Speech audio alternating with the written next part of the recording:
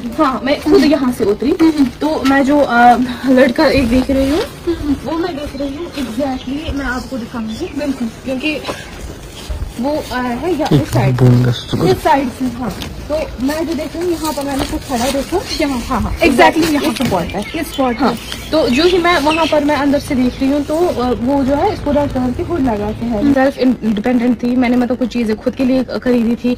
हमारी बाइक की शादी होने वाली थी उसमें वो चीज़ें भी रखी हुई थी। हम्म। वो सब कुछ उठाया है और जो बिस्तर है वो सारा पहले नीचे रखा है फिर हम्म। वापस से उसको अच्छे से छानबीन करके वापस उसी में डाल अच्छा, करिए इन्हीं से जानेंगे। असला वालेकुम। वालेकुम तुमसे बहुत पूरे काम है किसी दिन सोचिए Beyazı kaçıranız. Gene şuntu şuntu. Beyazı tanıyoruz. Metral aşıyı sözünü öpüdüm. Bir adım kurdu kurdum. Ne yapalım? Aldım kurdum diye sorsayın. Adım da açı doğru ya. Padır sonra da papaça. Kustanın farkı. ये वो spot है जहाँ से सानिया के मुताबिक जो है यहाँ से चोरा है।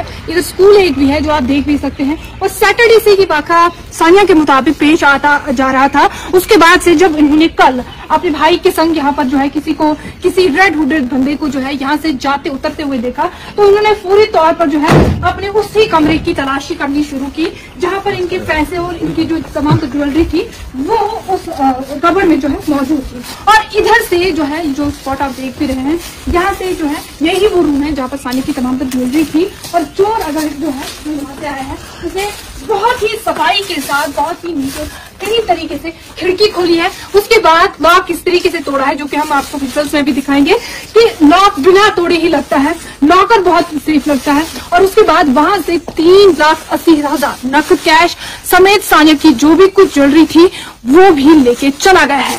और इसके साथ साथ अगर मैं सानिया की बात करूँ तो इन्होंने बताया है कि अगर इन्होंने पुलिस स्टेशन में रिपोर्ट भी दी है, लेकिन अभी तक पुलिस की तरफ़ से कोई भी कार्रवाई अमलाई नहीं गई है, कोई भी इन्वेस्टिगेशन शुरू नहीं की गई है।